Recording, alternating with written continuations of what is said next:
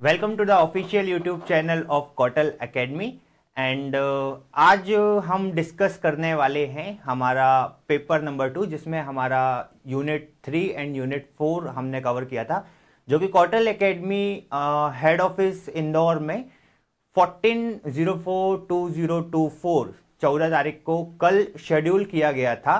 And uh, आप में से बहुत सारे बच्चों ने uh, ये पेपर अटेंड किया। और बहुत सारे बच्चों नहीं भी आए तो मैं आपसे बोलना चाहूँगा कि सभी लोग एफएलटी प्रॉपर टाइम पे आइए प्रॉपर टाइम पे दीजिए और अपनी तैयारी को ऑन द मार्क रखिए, है ना? राइट चलो तो शुरू करते हैं आज का डिस्कशन पहला क्वेश्चन हमारे पास है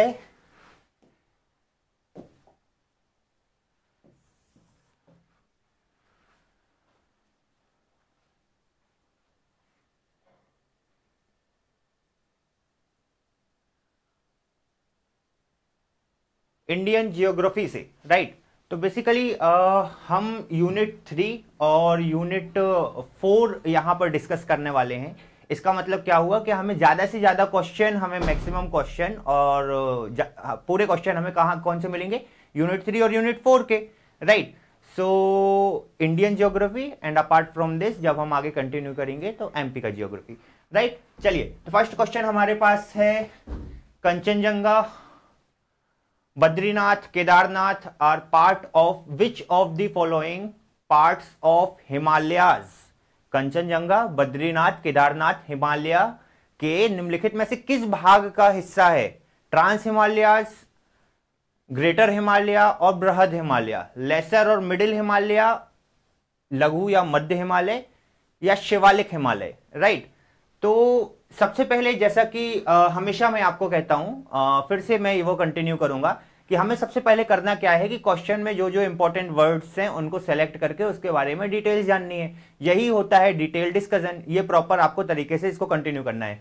राइट तो हमारे पास अभी मैं अगर देखूँ तो हमें इंपॉर्टेंट टर्म एक दिख रहा है, कंचनजंगा, बद्रीनाथ, केदारनाथ, है ना? इसके अलावा हमारे options trans Himalaya greater Himalaya lesser और मिडिल हिमालय और शिवालिक। ये हमारे पास one two three four five six seven. ये सेवन जो है हमें इंपॉर्टेंट टर्म्स दिख रहे हैं। बाकी क्वेश्चन फ्रेम करने की टर्मिनोलॉजी है।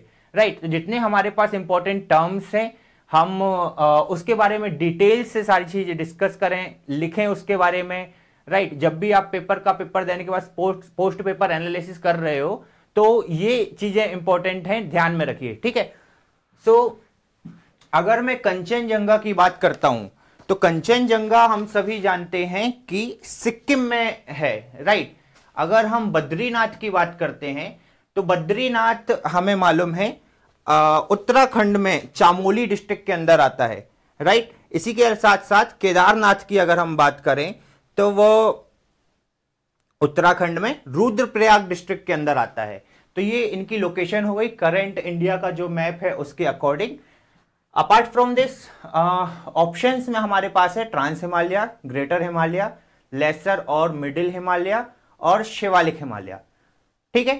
तो इसका एक बार अपन मैप में समझ लेते हैं right so wide on the left narrow on the east ये एक रफ मैप है, सिर्फ़ हमारे समझने के लिए। हिमालय का ट्रांजिशन यही है ना? वेस्टर्न पार्ट में जो है वो वाइड है ईस्टर्न पार्ट में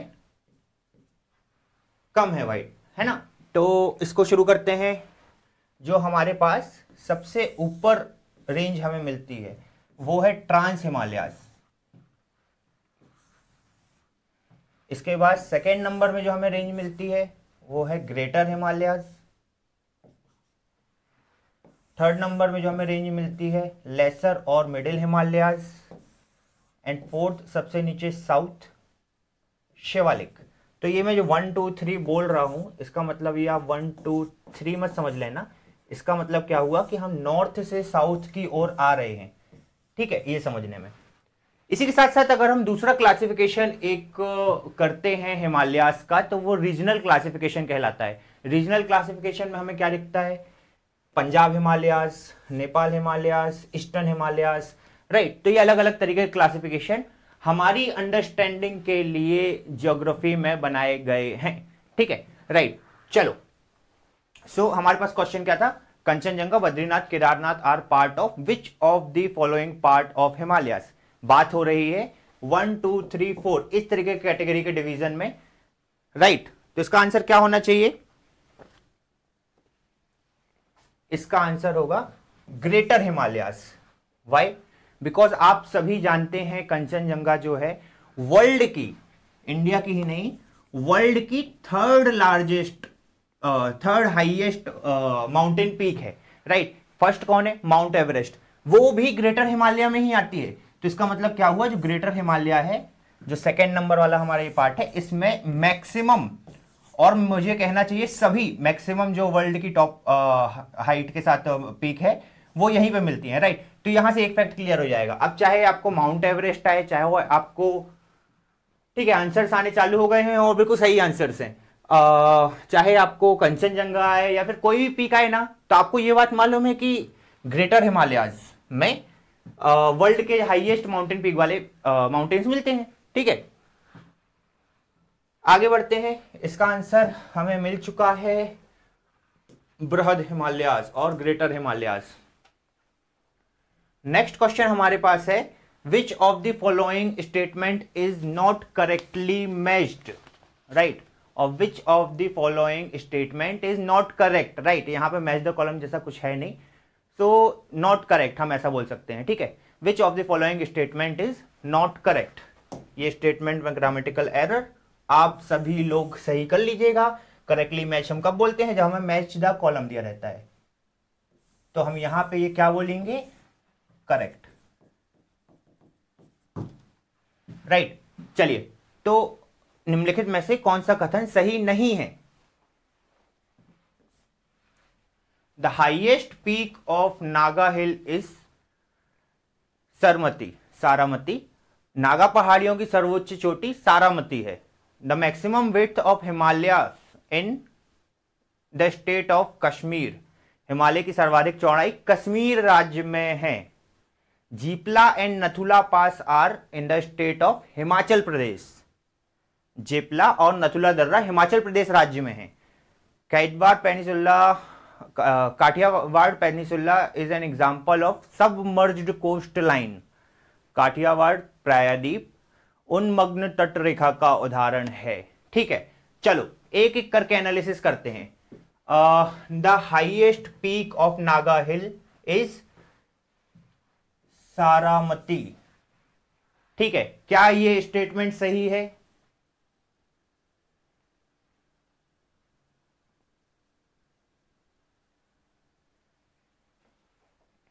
जी, ये स्टेटमेंट सही है। 386 मीटर्स अप्रोक्स इसकी हाइट है। अगले क्वेश्चन की तरफ़, अगले स्टेटमेंट की तरफ़ चलते हैं। The maximum width of Himalaya is in state of Kashmir तो ये तो मैंने अभी पहले क्वेश्चन में आपको बता दिया। जो हिमालय की विथ है, वो वेस्ट साइड में ज़्यादा है ईस्ट में कम है। ईस्ट में क्या है?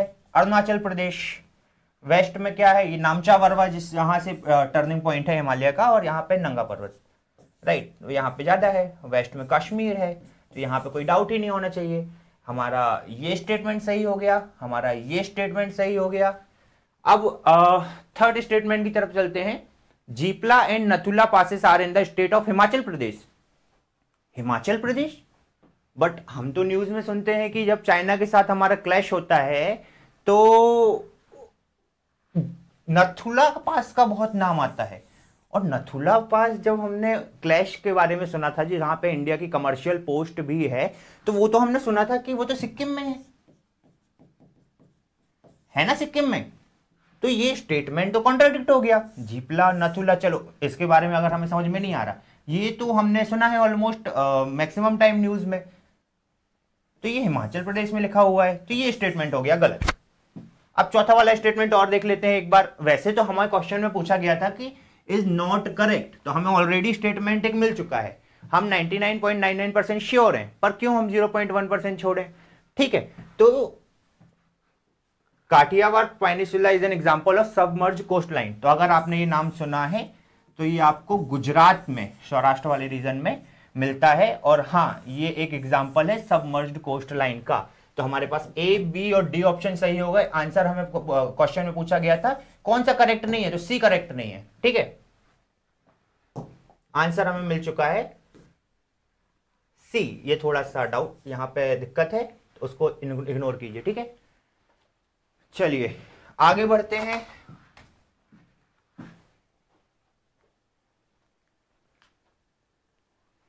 वन सेकेंड थोड़ा सा मैं इसको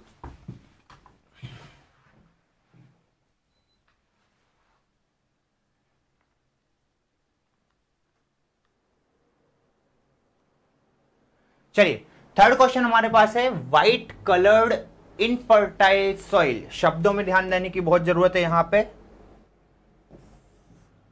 व्हाइट कलर्ड इनफर्टाइल सॉइल अगर हमने क्वेश्चन अच्छे से समझ लिया तो आंसर हमें आराम से मिल जाता है ना यहाँ पे डाउट नहीं है. और आंसर आने भी शुरू हो गए हमारे पास बहुत अच्छी बात है. आ, यहाँ पहले हम पर क्वेश्चन समझेंगे white coloured infertile soil infertile soil का क्या मतलब है? जिसमें फर्टिलिटी हमें नहीं मिल रही है राइट सो क्या बोल सकते हैं हम? डेजर्ट सॉइल है एक प्रकार से ये। ठीक है, अब व्हाइट है कलर में तो व्हाइट कलर में डेजर्ट सॉइल हमें कहाँ मिलेगी? या तो हमें कश्मीर में मिलोगी स्नो वाला एरिया जिसे हम ठंडा रेगिस्तान भी बोलते हैं, या तो हमें गुजरात में मिलेगा, नमक वाला एरिया ठीक है तो ये दो में से एक हो सकता है। ये अब हम समझ गए। अब ये फाइन सेंड की तरह ठीक है तो अब हम यहाँ पे श्योर हो गए। हाँ ये गुजरात वाला एरिया है। वहाँ की बात हो रही है। अगर आप साइंटिफिक वे में उसको इतना आपने डिटेल में पढ़ा है साइंस उसकी देखी है तो एल्कलाइन भी है नेचर में। तो यहाँ हम 101 परसेंट कन्फर्म हो जाते हैं कि ये गुजरात आ, की बात हो रही है। तो ये किसका कैरेक्टरिस्टिक है? ये क्वेश्चन में पूछा गया बेसिकली सफ़ेद रंग की अनुपजाऊ महीन रेत जैसी मृदा होती है। यह प्रकृति में शारी होती है। निम्नलिखित में से ये किसकी एक विशेषता है? रे भून कादर बाबर बताइए किसकी होनी चाहिए कमेंट बॉक्स में?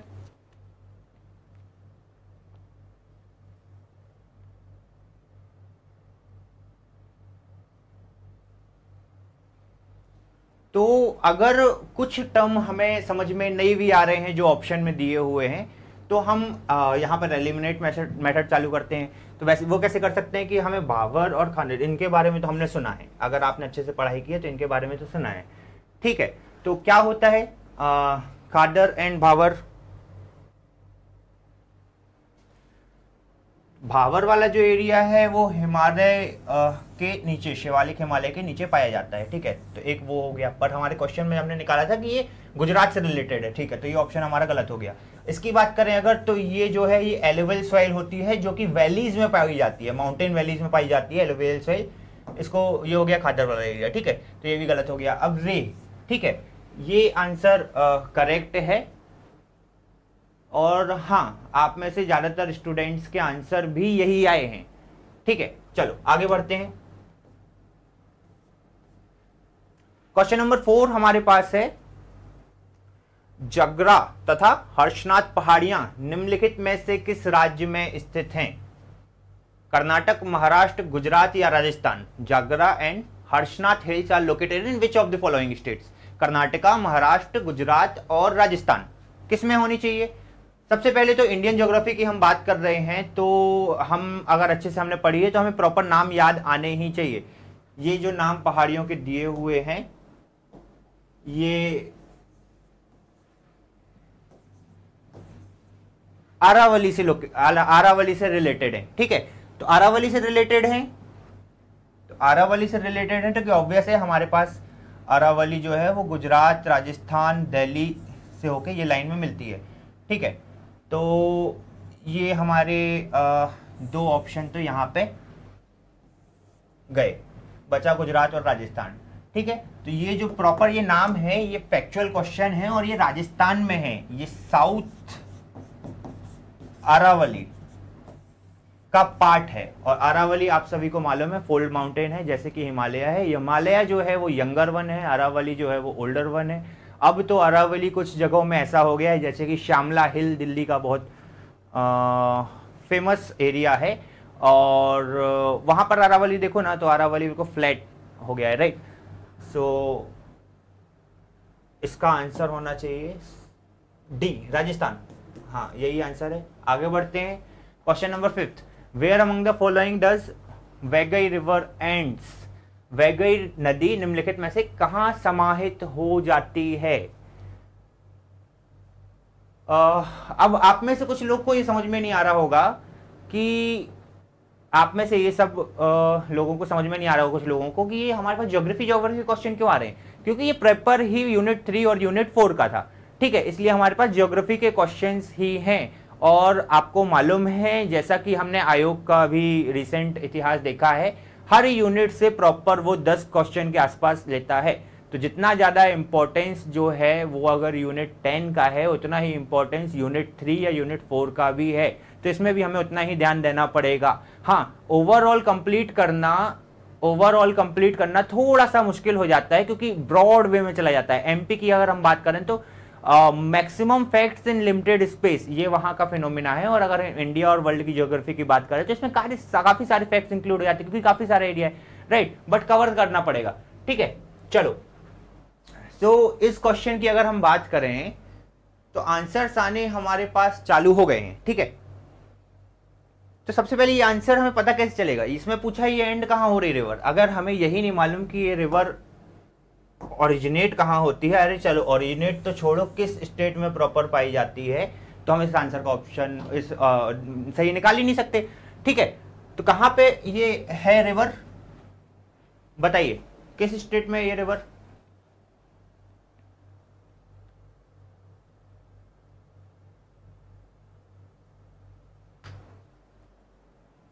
Vaigai river Tamil Nadu. Southern state of India Tamil Nadu में लोकेटेड है, और इसका जो ओरिजिन वाला पॉइंट है, इसका ओरिजिन वाला पॉइंट वेस्टर्न घाट का प्लेट्यूज है। वेस्टर्न घाट ये अगर मैं आपको समझाने की कोशिश करूँ, ये इंडिया साउथ इंडिया का मैप हो गया, ये हो गए वेस्टर्न घाट ये हो गया ईस्टर्न घाट डिसकंटिन्यूस चेन और यहाँ पर जो प्लेट्यू है, यहाँ से निकलती है। ये वाला एरिया तमिलनाडु तमिलनाडु, और यहाँ से होकर ये पाक वे और पाक स्ट्रेट और ये टर्म सुधार लीजिएगा, है ना पाक वे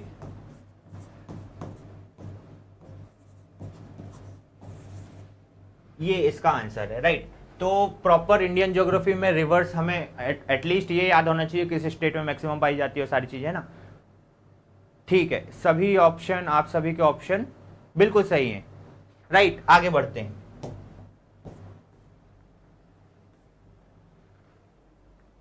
सिक्स क्वेश्चन हमारे पास है which of the following valleys is not correctly matched निम्नलिखित में से कौन सी घाटी सही सुमिलित नहीं है?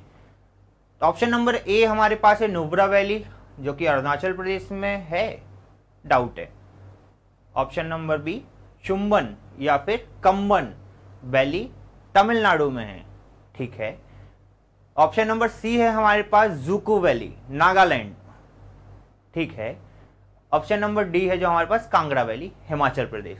ठीक है तो अगर आप सभी थोड़ा सा भी सोशल मीडिया एक्टिविस्ट है ना, थोड़ा सा भी आपको सोशल मीडिया या न्यूज़ में या फिर टूरिज़्म में, एडवेंचर में, बाइकिंग वगैरह में है तो आप सबसे पहले इसको, क्वेश्चन को आप आप लोग सबसे पहले सॉल्व करोगे इसको, जिसको लद्दाख का ड्रीम है जिसका, जो वहाँ जाना चाहता है, जो घूमना चाहता है, उसको मालूम है। नुब्रा वैली एक बहुत ही फ़ेमस टूरिस्ट स्पॉट है, जो कि लद्दाख ट्रिप में हर कोई कवर करना ही चाहता है। तो ये जो हमारा हो गया, ये लद्दाख में हो गया। अरुणाचल प्रदेश का सवाल ही नहीं होता। आंस क्वेश्चन में हमें पूछा गया था नॉट करेक्टली मैच्ड तो ये ऑप्शन नंबर ए ही हमें सही मिल गया, ठीक है? नुब्रा वैली जो है, वो लद्दाख में है। Former Jammu and Kashmir. अभी जम्मू एंड कश्मीर के दो पार्ट हुए, आप सभी को मालूम है यूटी के रूप में, है ना? तो अभी जो है वो प्रॉपर लद्दाख में अगर यहाँ पे एक ऑप्शन में जे एंड के भी लिखा होता ना तो ऑप्शन यही सही होता, क्योंकि लद्दाख राइट चलो, आगे बढ़ते हैं। क्वेश्चन नंबर सेवन हमारे पास है the famous Bhakra Nangal dam is built on which of the following river देखो, मैंने आपको पहले भी बताया है कि क्वेश्चन ऐसे ही बनते हैं। जो माउथ में वर्ड होगा, जो पब्लिसाइज्ड वर्ड होगा, जो ज़्यादा से ज़्यादा बोला जाने वाला वर्ड होगा, वो आपको क्वेश्चन में उसी से रिलेटेड कुछ पूछ लिया जाएगा। ठीक है? और बाद में आप सोचोगे, यार, ये वर्ड तो सुना सुना लग रहा है, ये वर्ड तो सुना सुना लग रहा है, पर मैं सही करके क्यों नहीं आ पाया? तो सही करके इसलिए नहीं आ पाए क्योंकि इग्नोरेंस इग्नोरेंस को हटाओगे ना आप और डिस्कशन जो है वो डिटेल में जाने लगोगे। हर क्वेश्चन के अलग अलग फैक्ट्स में बात करने लगोगे, हर क्वेश्चन के अलग अलग फैक्ट्स देखने लगोगे और डिटेल्स निकालने लगोगे तो आपको प्रॉपर मिल जाएगा, ठीक है? और ये हमने बहुत सुना है भाखड़ा नागल डैम, है ना? किस चीज़ में सुना है? हाईएस्ट कॉन्क्रीट ग्रेविटेशनल डैम के रूप में, है ना? ठीक है? तो इसके बारे में हमने बहुत सुना है। आज मैं आपको एक इंपॉर्टेंट फैक्ट इसके बारे में और बताऊँगा, ठीक है? उसके बाद अपन इसको आंसर निकालने की कोशिश करेंगे, ठीक है? तो ये जो भाखड़ा नांगल डैम है ना, ये असल में एक डैम नहीं है, दो डैम है। एक भाकरा डैम, एक नांगल डैम। ठीक है? अब ये, इसमें किसी को कोई डाउट राइट एक ही नदी में है, एक ही नदी में है, ये बात सही है बट दो अलग अलग डैम है, और फ़ेमस इसलिए है, एक ही नाम से चलते हैं तो मैक्सिमम लोगों को लगता है कि एक ही बाँध है। एक नहीं है राइट दो हैं। किस नदी में है? सतलुज रिवर। सतलुज रिवर में है जो अपस्ट्रीम है ना सतलुज रिवर की।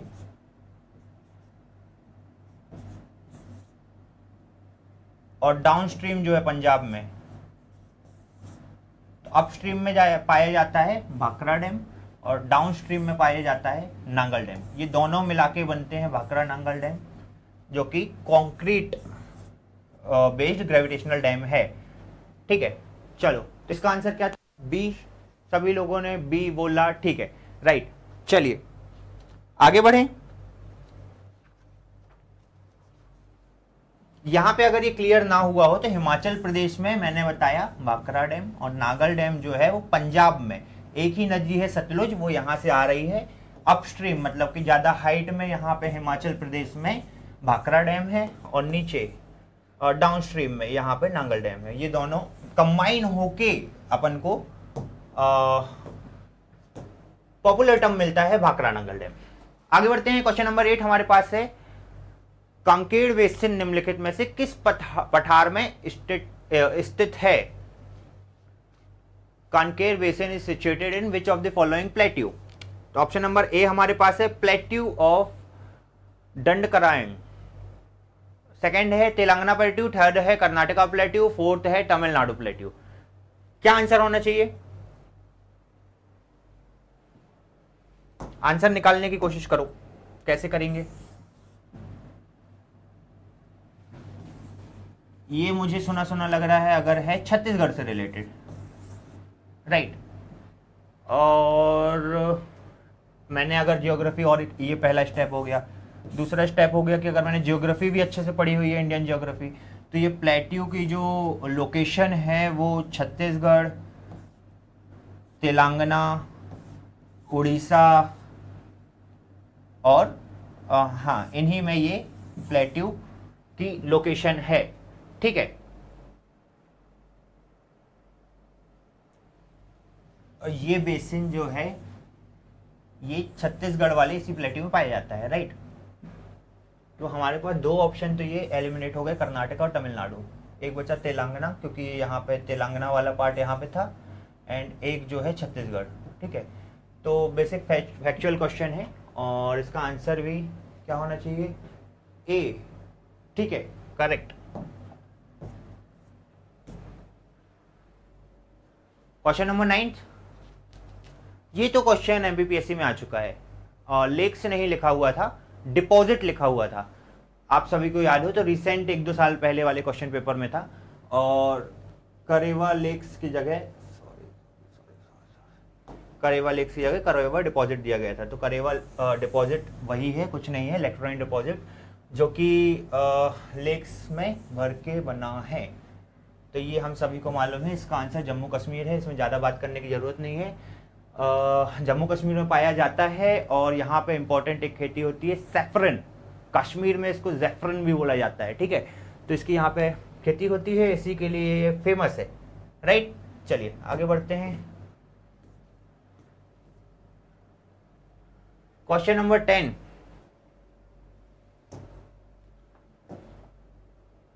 question number ten हमारे पास है which of the following river does not flow westward from Sahyadri Sahyadri क्या है ये?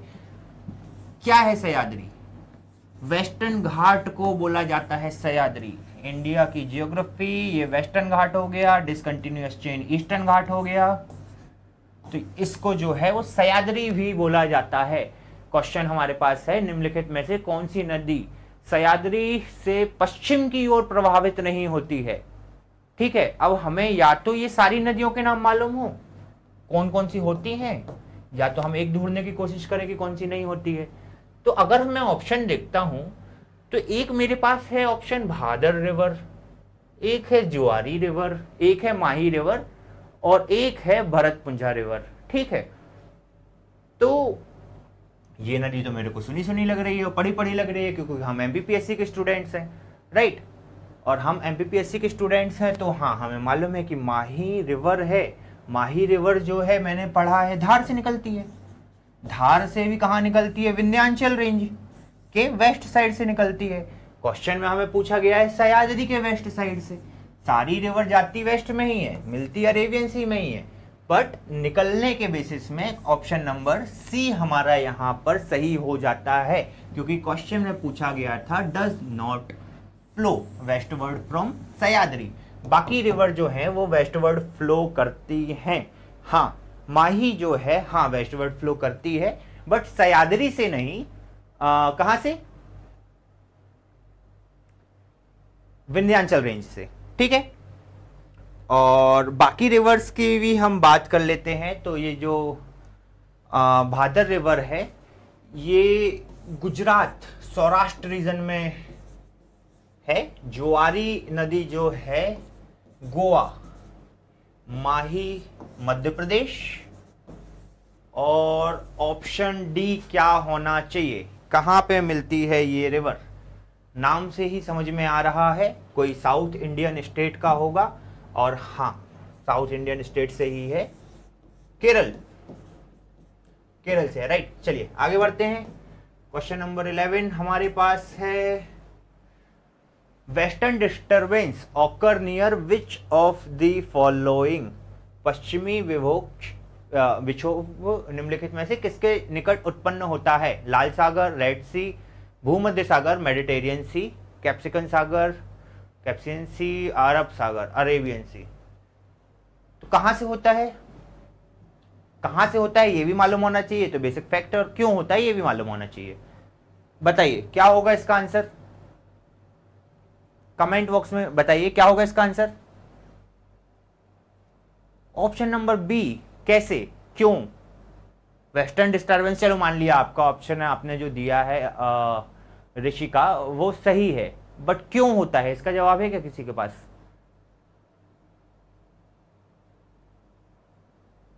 क्यों होता है वहाँ से? मान लिया वेस्टर्न डिस्टर्बेंस जो है वो आप दो मिनट के लिए मान लिया बिल्कुल सही बोल रहे हो। मेडिटेरियन से होता है बट क्यों होता है? क्या है इसके पीछे का रीजन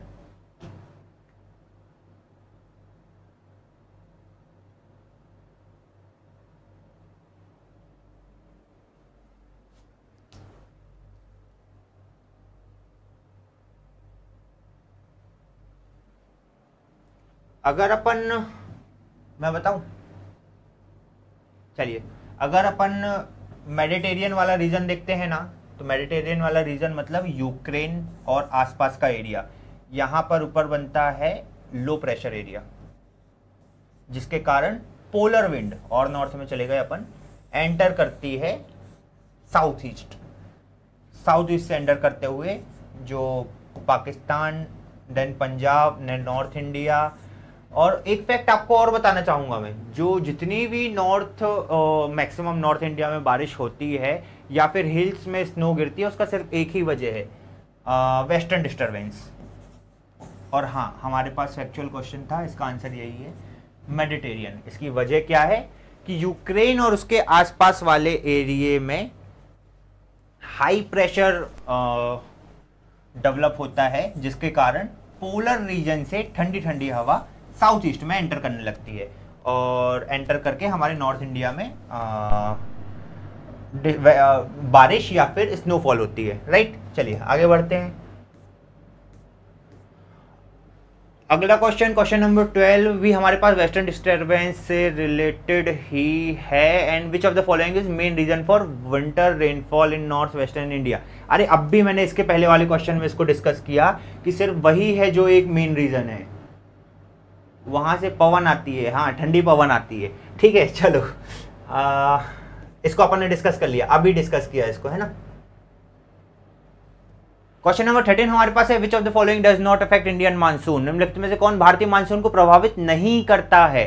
तिब्बत प्लेट्यू तिब्बत का पठार gulf stream El Nino jet stream right क्या होना चाहिए?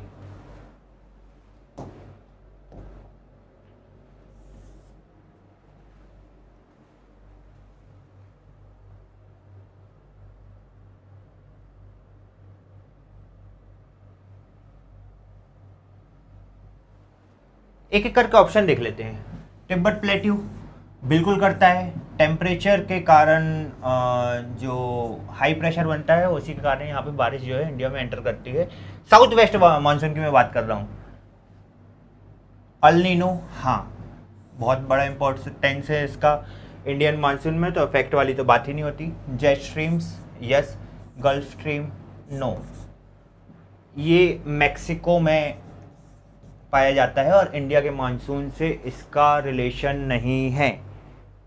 मैक्सिको में अटलांटिक ओशियन करंट में वार्म करंट एक होता है गल्फ स्ट्रीम और उसका इंडिया से रिलेशन नहीं है राइट चलिए, इसका आंसर हो गया गल्फ स्ट्रीम क्वेश्चन में हमें पूछा गया था डज नॉट अफेक्ट अगला क्वेश्चन है हमारे पास question number fourteen which of the following statement is correct regarding El Nino El Nino से संबंध में निम्नलिखित में से कौन सा कथन सही है?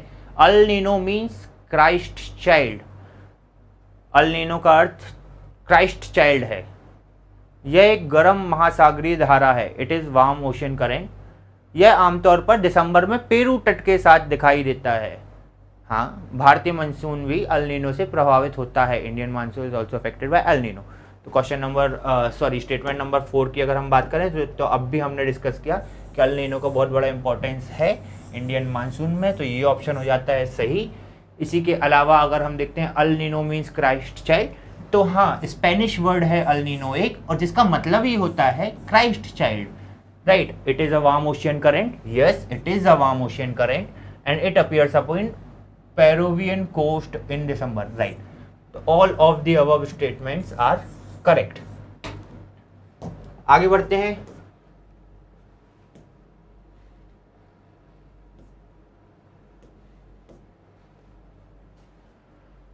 अगला भी स्टेटमेंट वाला क्वेश्चन हमारे पास which of the following statement is correct regarding La Nina La Nina phenomena occur due to colder than normal waters in the tropical Pacific the Pacific ocean region between the tropic of Cancer and tropic of Capricorn La Nina घटना उष्ट उष्णकटिबंधीय प्रशांत कर्क रेखा एवं मकर रेखा के मध्य प्रशांत सागर, महासागर क्षेत्र में सामान्य से ठंडे जल के कारण होती है। लालीना की विशेषता पश्चिमी प्रशांत महासागरीय क्षेत्र में।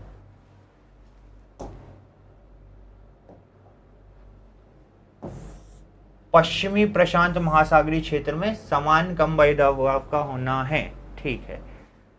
सी, लानीना वर्ष के दौरान दक्षिण पूर्व एशिया में विशेषकर उत्तर पश्चिम भारत और बांग्लादेश में ग्रीष्म मानसून संबंधित वर्षा सामान्य से अधिक होती है।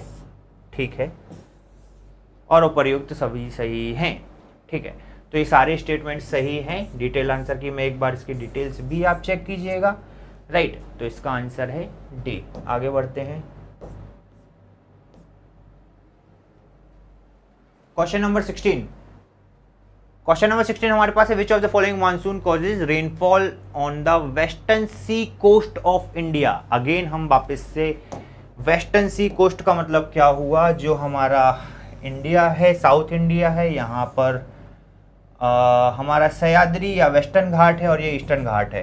तो ये जो है हमारा ये वेस्टर्न घाट का पहाड़ है और ये जो बाजू में जो जो जगह है ये हो गया हमारा वेस्टर्न सी कोस्ट। ये हो गई पूरी सी और ये हो गया कोस्ट। तो हमारे पास क्वेश्चन क्या है कि यहाँ पर मानसून किसकी वजह से होता है? Which of the following monsoon causes rainfall on western sea coast of India तो ऑब्वियस है, इसका आंसर साफ़ होना चाहिए। ये डायरेक्शन हो गए। साउथ नॉर्थ वेस्ट ईस्ट आप लोग बताओ कहाँ से आता है फिर? तो दिख ही रहा है ना मैप में, ये जाते हुए। तो आंसर ही हो गया इसका। साउथ वेस्ट ठीक है, कोई डाउट चलो, आगे चलते हैं।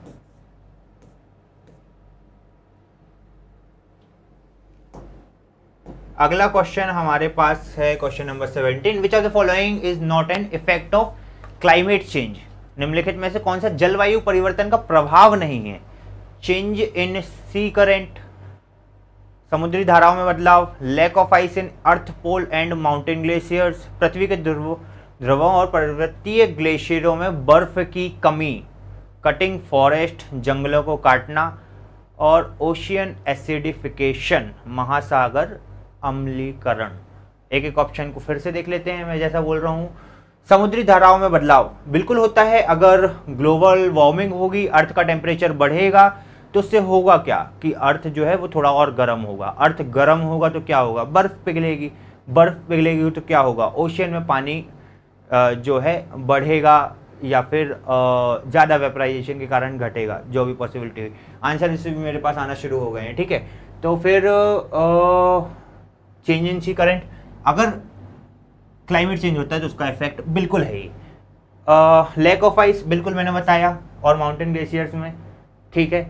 कटिंग फॉरेस्ट इसका इससे लेना देना क्या है? इसका इससे लेना देना ये है कि ये एक वजह है ग्लोबल वार्मिंग की राइट ये उसका इफ़ेक्ट नहीं है, ये उसका कॉज है, ठीक है? तो आंसर हमारे पास हमें ऑलरेडी मिल गया ओशियन एसिडिफिकेशन भी बिल्कुल है, अगर ग्लोबल वार्मिंग होगा तो। और कटिंग फॉरेस्ट जो है, वो इसका कॉज है, वो इसका इफ़ेक्ट नहीं है। ठीक है, आगे बढ़ते हैं आंसर हमें मिल चुका है इसमें सी अगला क्वेश्चन हमारे पास है according to forest survey report 2021 arrange the following state of India in descending order of their forest area one सर्वेक्षण रिपोर्ट 2021 के अकॉर्डिंग के अनुसार भारत में निम्नलिखित राज्य को उनके वन के क्षेत्रफल के अवरोही क्रम में व्यवस्थित कीजिए। हमारे पास जो ऑप्शन है, जिससे हमें अरेंज करना है डिसेंडिंग ऑर्डर में मतलब सबसे ज़्यादा, सबसे कम आंध्र प्रदेश, अरुणाचल प्रदेश, छत्तीसगढ़ और उड़ीसा ये हमारे पास चार ऑप्शन में है। तो यहाँ पे question two zero two one से की रिपोर्ट से क्यों दिया गया आपको? होना तो रिसेंट से चाहिए, है ना? तो फॉरेस्ट सर्वे रिपोर्ट जो हमारे पास रिसेंट है अभी, वो टू ज़ीरो टू वन की ही है, दो हज़ार इक्कीस की ही रिसेंट है। ठीक है? तो इसको अरेंज करते हैं। तो मैं आ, क्या आपको मालूम है कि सबसे ज़्यादा जो है वो मध्य प्रदेश में है? अगर होता तो आपके पास आ, आसान हो जाता इस क्वेश्चन को सॉल्व करने के लिए। फ़र्स्ट नंबर में जो है वो वो मध्य प्रदेश है। सेकेंड नंबर में अरुणाचल प्रदेश।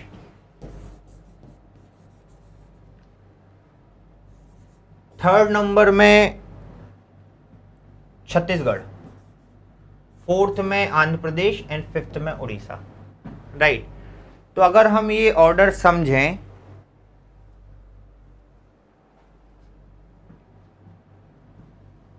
first second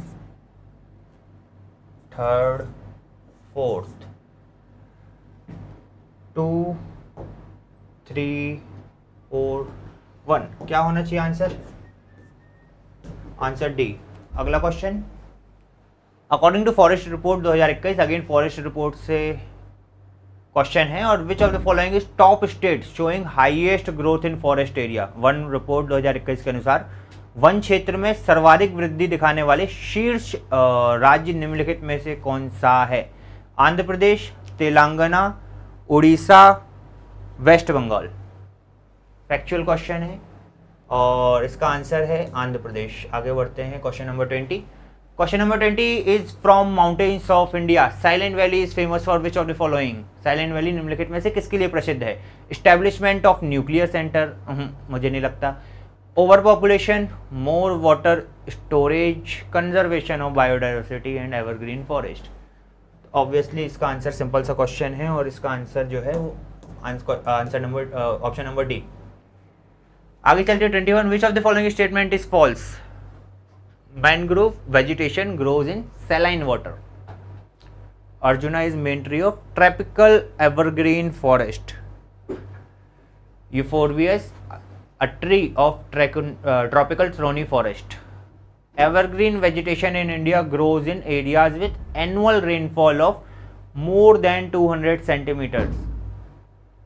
कौन सा आंसर इसमें uh, कौन सा ऑप्शन इसमें से गलत है कौन सा स्टेटमेंट इसमें से गलत है कौन सा होगा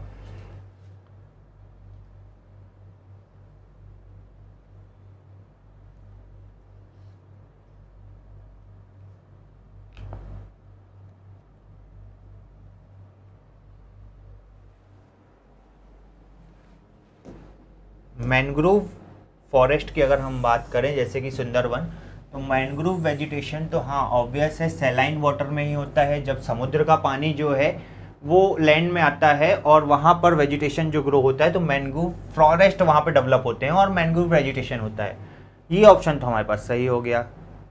है ना? It is a tropical thorny forest ठीक है, ये भी सही है। इसका मतलब क्या होता है? ट्रॉपिकल ट्रोनी फॉरेस्ट का डेजर्ट में जो वेजिटेशन होता है वहाँ पर, ठीक है? Evergreen vegetation in annual rainfall of more than 200 बिल्कुल। और ये कहाँ पाया जाता है? मैक्सिमम केरल और कर्नाटक। मेनली यहाँ पे एवरग्रीन वेजिटेशन पाया जाता है। ये भी ऑप्शन सही हो गया। इसका मतलब ऑप्शन नंबर भी सही नहीं है और क्वेश्चन की डिमांड के अकॉर्डिंग सही है, क्योंकि क्वेश्चन में पूछा गया था फॉल्स। ठीक है, चलो, आगे बढ़ते हैं।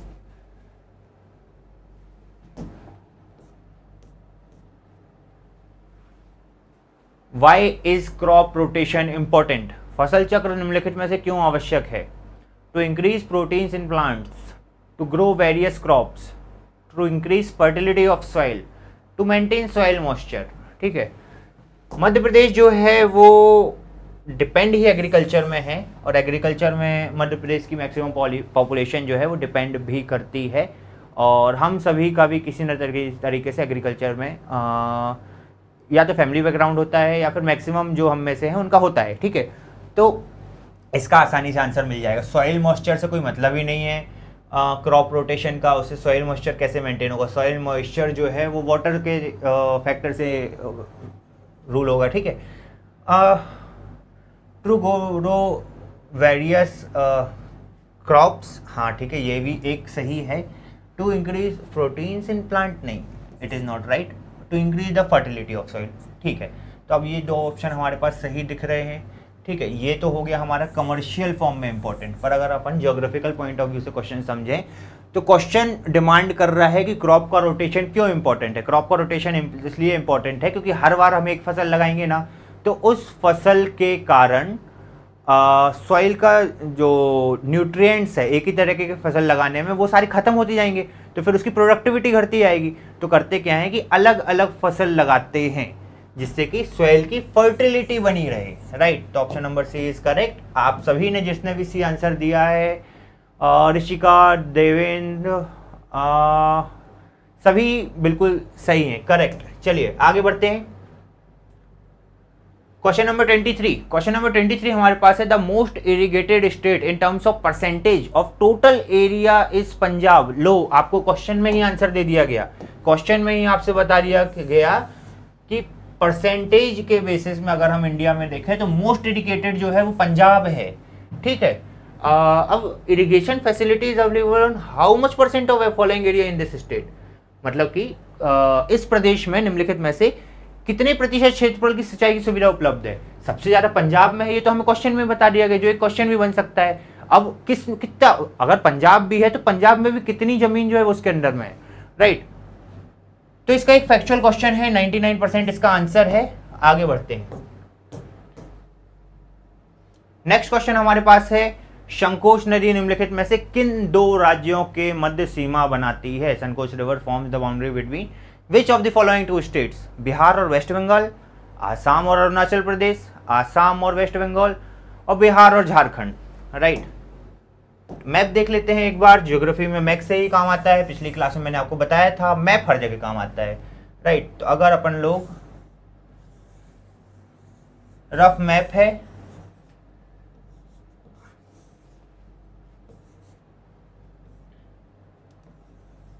वेस्ट बंगाल, आसाम। यहाँ से निकलती है ये नदी और वेस्ट बंगाल और असम के बीच बाउंड्री बनाती है। असम और ये वाला पार्ट हो गया अपना असम और ये हो गया अपना वेस्ट बंगाल। इसके बीच बाउंड्री बताती है। मैक्सिमम टाइम आप देखते होंगे कि दो स्टेट के बीच में आ, एक रिवर होती है जो कुछ हिस्सा उसका बाउंड्री का बनाती है। और ऐसा क्यों होता है? कभी आपने सोचा है क्या? ऐसा इसलिए होता है क्योंकि जो वाटर रिसोर्स है वो स्केर्ड है। अभी हमारा हमने कितने बार देखा कि साउथ में हमें कितने बार वाटर क्राइसिस देखने मिलते हैं, जहाँ पे दो स्टेट आपस में लड़ जाते हैं उस पानी के लिए। इसीलिए जो मैक्सिमम टाइम जो बॉर्डर्स डिज़ाइन की जाती हैं स्टेट की, वो ये देखते की जाती है कि वाटर जो कि एक बहुत इंपॉर्टेंट रिसोर्स है, वो सभी को बराबर डिस्ट्रीब्यूट हो। अगर बाउंड्री में ही रहेगा वो तो दोनों यूज़ कर सकते हैं, है ना? और अगर कुछ मतलब जितना की ज़रूरत उतना पूरी नहीं होगी होगी तो फिर क्लेश होगा। ठीक है? चलिए। आगे बढ़ते हैं। इसका आंसर हमें मिल चुका है असम और west Bengal. Twenty fifth number question हमारे पास है। Correctly match the following multipurpose project with their respective rivers निम्नलिखित बहुउद्देशीय परियोजनाओं को उनकी संबंधित नदियों से सम्मिलित कीजिए। फ़र्स्ट लिस्ट में हमारे पास आ, कुछ नाम दिए हुए हैं। इदुकी प्रोजेक्ट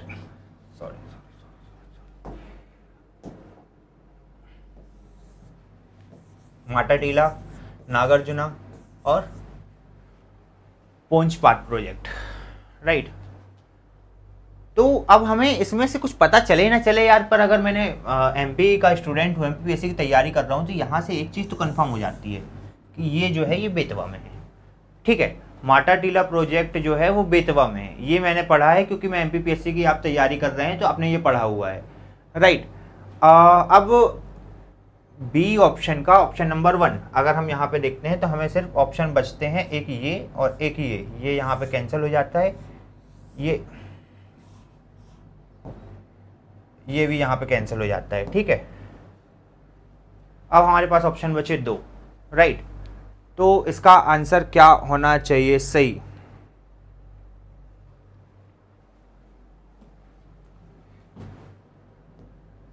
दुखी जो प्रोजेक्ट है, ये प्रियर रिवर में है। नागार्जुना कृष्णा में है। ठीक है। फोर गोदावरी में है ये। तो ऑप्शन नंबर बी हमारे पास हमको सही मिल जाता है। राइट चलिए, आगे बढ़ते हैं।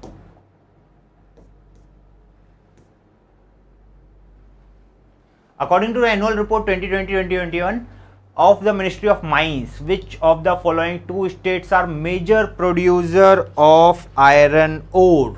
खान मंत्रालय की वार्षिक रिपोर्ट 2020-21 के अनुसार निम्नलिखित में से कौन से दो राज्य भारत में लौ आयसक के प्रमुख उत्पादक हैं? उड़ीसा छत्तीसगढ़ झारखंड और कर्नाटका। कौन कौन से हैं? तो जो आयरन ओर है ना वो प्रॉपर थोड़ा बहुत पार्ट में, मध्य प्रदेश के ईस्टर्न पार्ट में पाया जाता है और वहीं से आगे लगा है छत्तीसगढ़। तो एक तो हमें ऑप्शन मिल जाता है छत्तीसगढ़।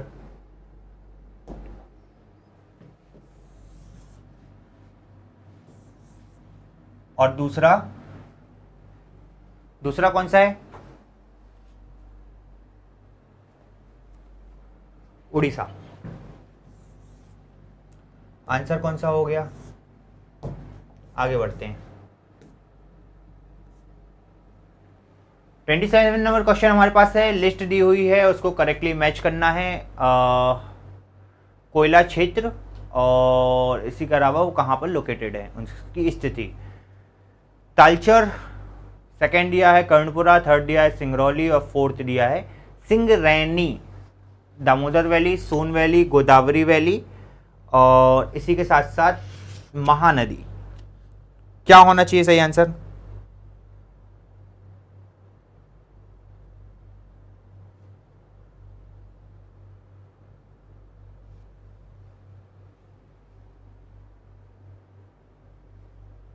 क्या होना चाहिए ट्वेंटी सेवन का correct answer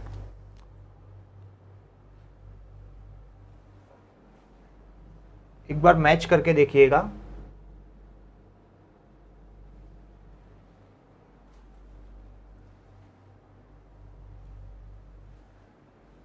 correct answer B आएगा। ठीक है? ट्वेंटी नंबर क्वेश्चन है which of the following is not correctly matched निम्नलिखित में से कौन सा सही सम्मिलित नहीं है? प्राथमिक ऊर्जा प्राइमरी एनर्जी जो है tidal power commercial energy oil and gas non commercial energy animal dung non conventional energy solar energy ठीक है, चलो, इसके बारे में बात कर लेते हैं थोड़ा सा और आंसर निकाल लेते हैं। तो क्वेश्चन में अगेन हमारे पास पूछा गया है नॉट करेक्टली मैच्ड ठीक है? तो नीचे से चालू करते हैं नॉन कन्वेंशनल एनर्जी जो है, वो सोलर एनर्जी है, बिल्कुल सही चीज़ है। क्योंकि नॉन कन्वेंशनल ही है ना कन्वेंशनल एनर्जी मतलब रेगुलर यूज़ होती है मतलब कि ऑयल डीजल पेट्रोल वगैरह, सारी चीज़ें। और नॉन कन्वेंशनल जो है वो सोलर एनर्जी बिल्कुल सही स्टेटमेंट है। Non commercial energy animal dung ठीक है? तो ये जो है, ये इतना ज़्यादा इसका कमर्शलाइजेशन अभी हुआ नहीं है, ठीक है? अभी प्रॉपर एनिमल डंग का यूज़ खाना वगैरह बनाने में या फिर गाँव में या फिर किसी और चीज़ में करते हैं बट कमर्शियल यूज़ इतना ज़्यादा हुआ नहीं है। इसलिए हाँ मैक्सिमम जो हमें ये भी स्टेटमेंट चाहिए कमर्शियल एनर्जी जो ऑयल एंड गैस है, बिल्कुल है पेट्रोल डीजल ये सभी चीज़ें जो हैं कमर्शियल एनर्जी के अंदर ही आती हैं। प्राइमरी एनर्जी टाइडल पावर नहीं है। प्राइमरी एनर्जी में दो तरह का होता है कन्वेंशनल और नॉन कन्वेंशनल उसके अंदर में न्यूक्लियर एनर्जी इसी के साथ साथ सोलर एनर्जी ये सभी चीज़ें आती हैं। टाइडल पावर नहीं आती है। आगे बढ़ते हैं। Question number twenty nine which of the following state is the largest producer of solar energy in India निम्नलिखित राज्यों में से कौन सा राज्य भारत में सर्वाधिक सौर ऊर्जा का उत्पादक है? आंध्र प्रदेश, राजस्थान, तेलंगाना, कर्नाटका। कौन सा है?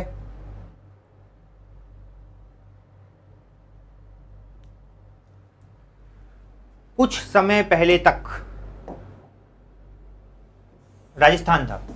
बट अभी अभी कौन सा है?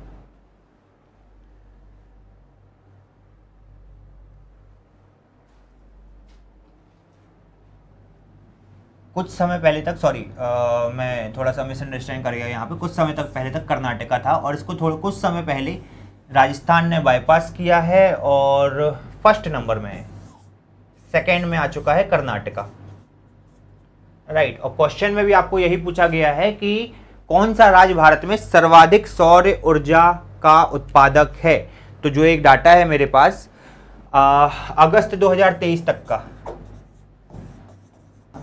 उसके अकॉर्डिंग 17.8 गीगावाट ये उसका टोटल ऑपरेशनल जितने भी प्लांट हैं उसका टोटल आउटपुट है। ठीक है? चलो। थर्टी एट नंबर क्वेश्चन को हम देखते हैं।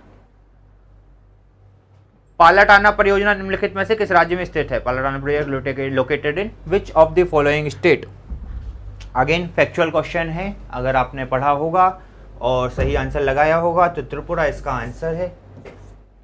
राइट right, चलिए।